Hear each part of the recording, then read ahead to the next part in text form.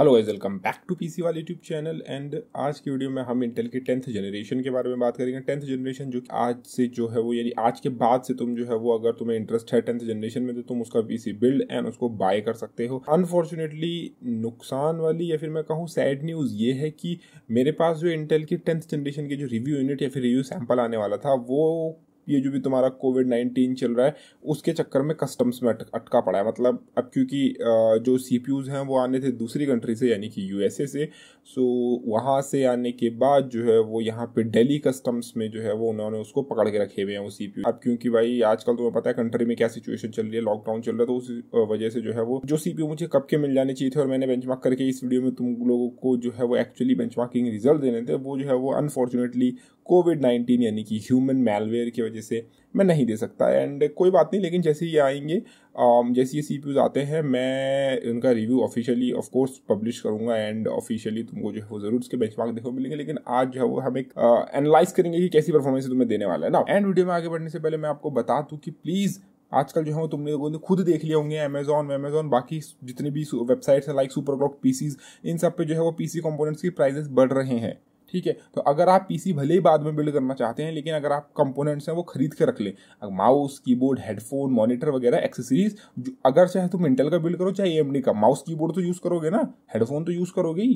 Cabinet तो use करोगे ही। पावर सप्लाई तो यूज़ करोगे ही। तो वो कंपोनेंट जो है, वो एसेंशियली खरीद के रख लो पहले से। अपने घर वालों को मनाओ। अगर तुम ग्रीन जोन ऑरेंज जोन में हो खरीद के रख लो प्राइसेस बढ़ रहे हैं। डिस्क्रिप्शन में दिए गए अमेजोन के लिंक से अगर शॉपिंग करोगे तो उसी चैनल को सपोर्ट मिलेगा।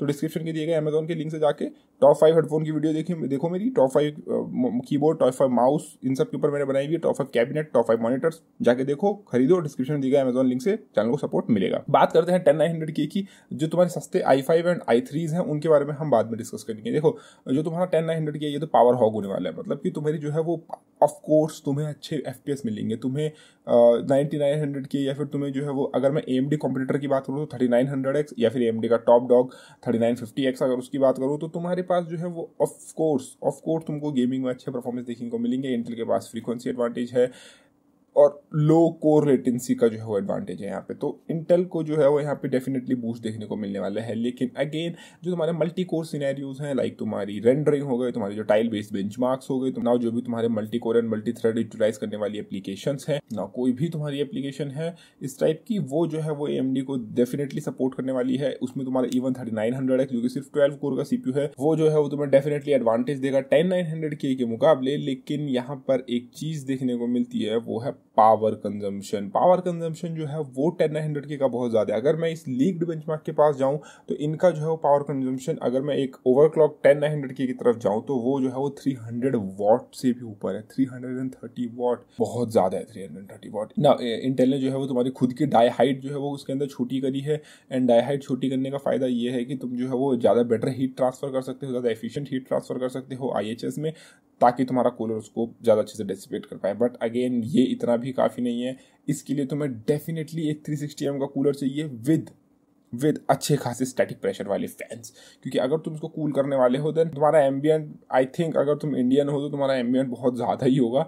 अगर तुम सदर्न पार्ट में रहते हो तो तुम्हारा और ज़्यादा होगा। एंड उस केस में मैं तुम्हें बोलूँगा, अगर तुम टेन हंड्रेड की को ले रहे हो तो देन तुम्हें कस्टम लूप बिल्ड कर लो। वो तुम्हारे लिए ज़्यादा बेटर ऑप्शन पड़ेगा। अगर तुम गेमिंग के लिए बिल्ड बिल्ड को कर रहे हो तो। ना अगेन ये बात ऑब्वियस है कि गेमिंग में टेन हंड्रेड की ऑफकोर्स कुछ एफ़ से ए एम डी कॉम्पिटेटर से आगे होगा, लेकिन जो तुम्हारे मल्टी कोर जहाँ पे परफॉर्मेंस की ज़रूरत पड़ेगी, वहाँ पे अगेन ए एम डी आगे होगा। इंटेल का पावर कंजम्पशन ज़्यादा है इंटेल की थोड़ी प्राइसिंग में इशूज़ हैं तो वहाँ पे जो है वो तुम्हें डिसएडवांटेज देखने को मिलता है। तुम्हें स्टॉक कूलर देखने को नहीं मिलता, जबकि थर्टी नाइन हंड्रेड एक्स के साथ तुम्हें बेशक एक स्टॉक कूलर देखने को मिलेगा, जो कि कुछ वैल्यू प्रोवाइड करता है, बजाय इंटेल की इंटेल में तुम्हें किसी भी तरीके का कूलर देखने को नहीं मिलता। हाँ थर्टी नाइन फिफ्टी एक्स में ए एम डी भी तुम्हें कूलर नहीं देता बट अगेन वो सिक्सटीन कोर पार्ट और वो डेफिनेटली अलग लीग में है। बात करते हैं लो एंड पार्ट्स की तो लो एंड पार्ट में जो तुम्हारे I five and I threes हैं, देखो आई थ्रीज के बारे में मैं श्योर नहीं हूँ, लेकिन आई फाइव में भी। आई फाइव में भी अगर इंटेल कूलर इंप्रूव नहीं करता and still same cooler provide करता है देन वो भी इशू होने वाला है बिकॉज़ तुम लिटरली अपने जो आई फाइव लाइन है, उसके अंदर हाइपर थ्रेडिंग इनेबल कर रहे हो। एंड हाइपर थ्रेडिंग इनेबल करने का मतलब है तुम हीट आउटपुट बढ़ा रहे हो, क्योंकि एक बात यहाँ पे मैं आपको क्लियर कर देता हूँ ए की जो टेक्नोलॉजी है एसएमटी यानी साइमल्टेनियस मल्टी थ्रेडिंग वो ज़्यादा एफिशिएंट है मुकाबले इंटेल की हाइपर थ्रेडिंग के। सो so, इंटेल अगर अपने कोर्स के अंदर हाइपर थ्रेडिंग इनेबल कर रहा है यानी कि छः कोर बारह थ्रेड्स का अगर तुम्हारा आई फाइव है वो डेफिनेटली ज़्यादा हीट निकालने वाला है एंड क्योंकि वो ज़्यादा हीट निकालने वाला है देन तुमको एक अच्छा कूलर चाहिए होगा। भले ही वो एक तुम्हारा स्टॉक कूलर के साथ आएगा बट हमें इंटेल का स्टॉक कूलर पता है वो किस टाइप के होते हैं। इंटेल प्लीज़ अपना स्टॉक कूलर इंप्रूव करो। ना, क्योंकि इंटेल अपना वही पुराना स्टॉक कूलर यूज़ करेगा जो कि वो यूज़ करता हुआ आ रहा है कई जनरेशन से।